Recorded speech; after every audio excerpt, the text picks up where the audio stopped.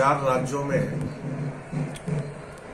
Bharatiya Janata party को ऐतिहासिक विजय हासिल हो गई। इस ऐतिहासिक विजय के लिए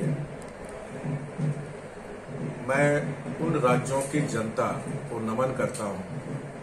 साथ ही साथ हमारे पार्टी के शीर्षस्थ नेतृत्व, संघर्षशील एवं पार्टी के प्रति समर्पित कार्यकर्ताओं के साथ साथ करिश्माई नेतृत्व के स्वामी और भारत के जनप्रिय, लोकप्रिय प्रधानमंत्री जी को हृदय के गहराइयों से मैं बधाई देना चाहता हूँ। भारतीय जनता पार्टी की यह जीत ऐतिहासिक है। और आज़ादी के बाद उत्तर प्रदेश में जो अनिश्चितता की स्थिति थी, योगी बाबा ने उसे समाप्त किया है। भारतीय जनता पार्टी के संगठन के सारे लोगों को मैं बधाई देना चाहता हूँ, जिनके अथक मेहनत से भारतीय जनता पार्टी का विजय हुआ है। पाँच में से चार राज्यों में भारतीय जनता पार्टी को प्रचंड बहुमत जनता ने दिया है।